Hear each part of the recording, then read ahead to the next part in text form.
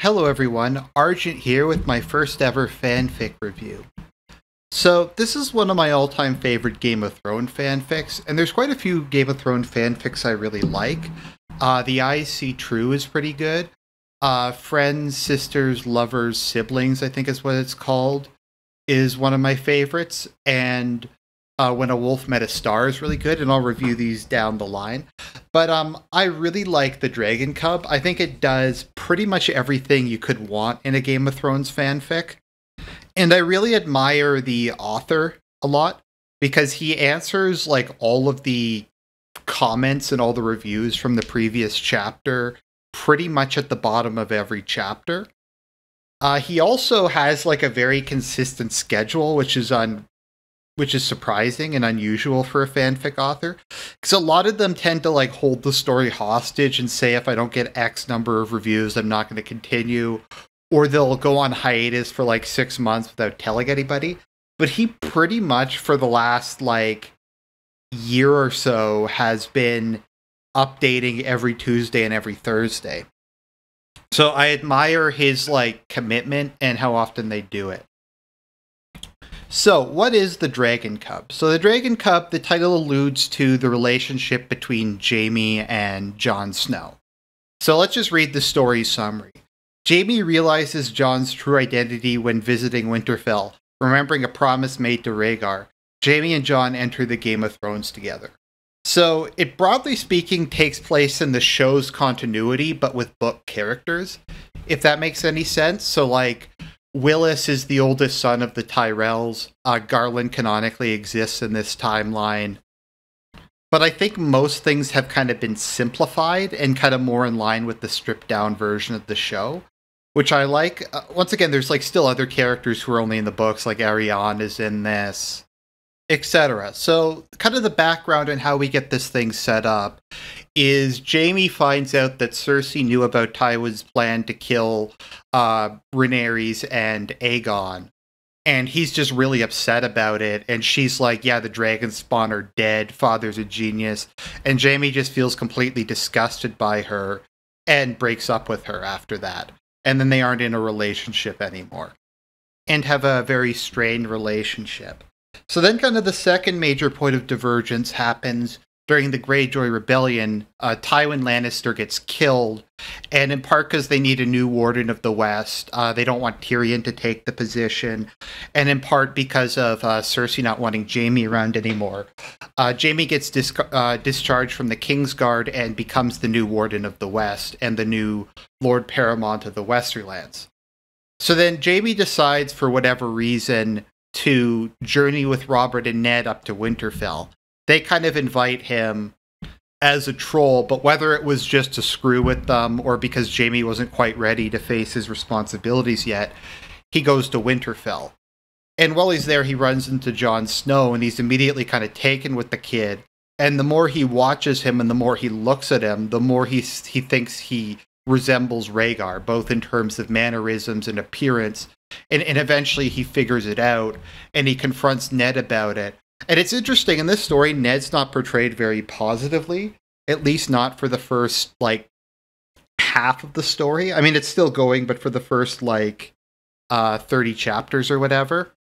Ned's seen as a very weak man who hasn't really done much in his term as Lord of the North. Like he hasn't really improved it much. Um, there's been kind of a long period of economic, political, and military decline. Like it's not that he's a bad person. Uh, they also the author also takes issue with the idea that Ned didn't adequately prepare his children, which I think is partially true, partially not true. And that he left it entirely up to Cat, and Cat really mismanaged it. And Cat is one of the major villains in this fic, but we'll get to that in, in a little bit. So he confronts Ned, and as with most stories like this, Ned has Dark Sister.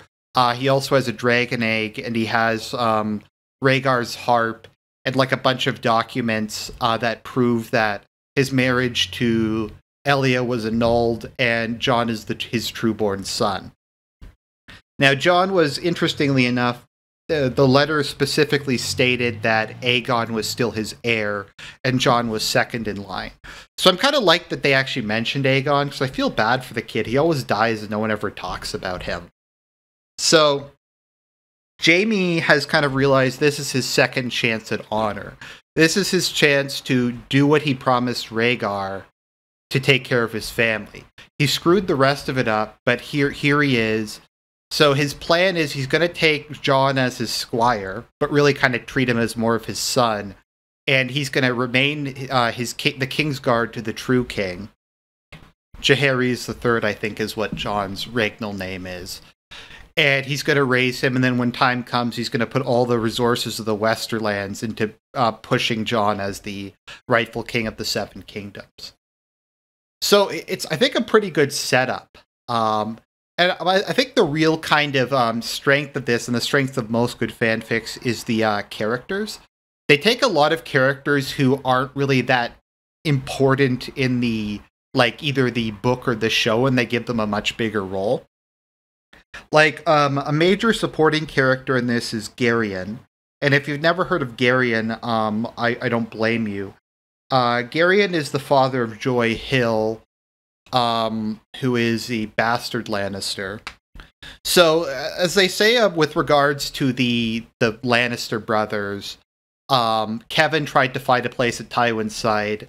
Tygett tried to be his own man, but just got bitter, and Gerion just didn't take anything seriously. So he's really sarcastic and like kind of lighthearted, uh, but can have a bit of a caustic wit. Uh, he's very sympathetic though, because the only thing he really cares about, I guess, other than his other family, is his daughter, uh, his illegitimate daughter Joy, who he um, just loves like unconditionally, and he just dotes on her constantly. And uh, like almost as soon as Jon arrives there, uh, he's used to having Sansa as like his little sister, and I think Arya is just about to be born, and Joy kind of fills that uh, hole in his life. So we get a lot of like really cute scenes of Jon and Joy interacting. Uh, he always reads for a bedtime story. They play horsey together and stuff like that. And we kind of see Jon gradually grow on the members of the household. Like initially, a lot of them dislike him, but he kind of wins them over. I think one kind of probably criticism you can make of this is Jon. I wouldn't call him a Mary Sue because there's like explanations for it. I think the other thing is um, he's kind of gone through his um, dark character arc. It was off screen, but he kind of gone through a very difficult childhood, so it kind of makes sense that he's really mature. But he eventually kind of like develops, I think, almost like excessive abilities like he starts to have dragon dreams of Valyria and he starts to replicate some of the technology there. So he invents like um, an early wind wheel and he invents like um, early modern ships and like some stuff like that. So that's a little kind of like uh, excessive. But yeah, so that kind of goes through for a number of chapters. Um, Jon eventually becomes uh, best buddies with Loras. I think they do a really good job portraying Loras in this. Loras as a character, I feel, is probably more like a young Jaime than how they kind of portrayed him in the show. Like his his homosexuality is kind of like a thing in the background that isn't really, I think, mentioned that much in the books. He's kind of like he's a bamf, he's a badass mofo, and that's kind of like the the core feature of him. So him and Jon just have like a really good bromance buddy cop thing. And almost immediately Margaery and Jon kind of hit it off and there, there's a lot of kind of romantic tension there, although they're very young, so they don't really understand it. And they don't expect there to ever really be a chance of them being together because at this point in time, they think Jon is a bastard, although he's actually the rightful king of the uh, Seven Kingdoms. So uh, we just kind of go through it, and pretty much everybody gets screen time, which is nice. Uh, Robert gets screen time, Cersei gets screen time, Jaime does, Ned does. Uh, most of the Stark children do, at least the interesting ones. Uh, Cat's kind of the main. Cat and John Arryn are kind of the main villains. We don't really know anything about John Arryn, but he's kind of a massive dick in this, which I thought was interesting. Uh, Cat is really, really bad in this. She's just completely paranoid that Jon is going to um, uh, usurp Robb uh, and become uh, Lord of Winterfell of course, Jon would never do that, even if uh, he didn't know that he was um, Rhaegar's son. So, like, eventually, Jaime tells him, and he decides he's going to go for the throne. and it's just kind of an ongoing journey, and you just have a lot of interesting stuff that happens. Um, there's a lot of like laugh out loud, funny moments, a lot of touching moments. Uh, something I like is they focus a lot on economics in this and like um, development, which is something I always find kind of interesting. Like part of like Jamie and Jon's master plan is to like um, grow the economy of the Westerlands through trade and bind themselves closer to other regions. Like they make really close economic ties with the Manderleys. So the Manderleys would probably support Jon anyways, but they become very enthusiastic supporters of him. Um, they make close relationship with like the uh, Mormonts on Bear Island, uh, with the Reach, etc. And they just go through a lot of kind of like economic development stuff, like building new castles, uh, reopening the mines of Castamere, uh, that kind of thing. So I all like that kind of stuff. Um, it really kind of adds some depth and some world building. Probably the thing though that is the most surprising about this is who he winds up pairing Jamie with. And I, I wasn't sure if Jamie was just going to stick to his Kingsguard vows and never like marry or something like that. But what winds up happening is he goes north with Jon after um, a tournament they have in King's Landing, and he runs into Dacey Mormont. Now, for those of you who don't know who Dacey Mormont is, because she wasn't in the, sh- I don't think she was in the show.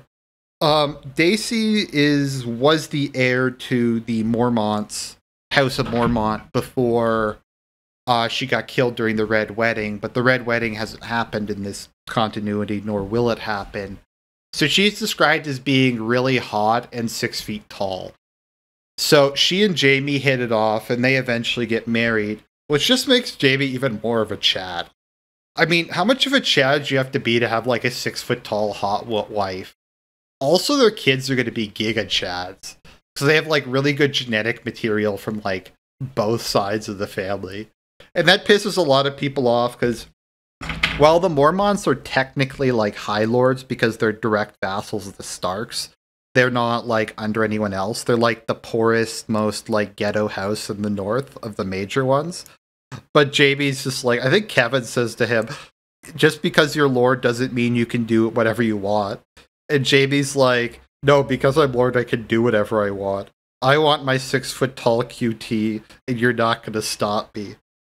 So that happens. So the story is kind of ongoing um, a lot of kind of unexpected stuff happens, but most characters, like from canon, get a lot of screen time, and everybody kind of gets their own story arc. Um, I'd say like Edmure, Cat, and John Arryn are the main villains in this.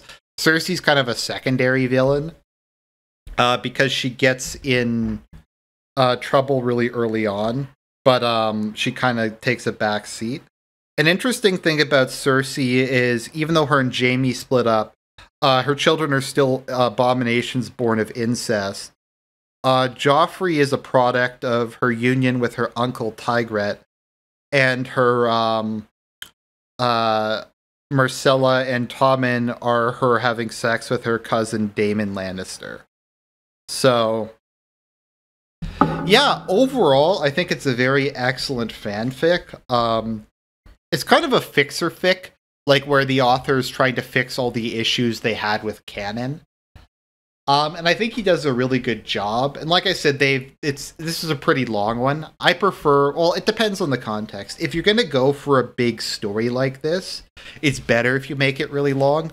If you're just going through kind of a short, emotionally intense story, then uh 40 to 100,000 words is probably best.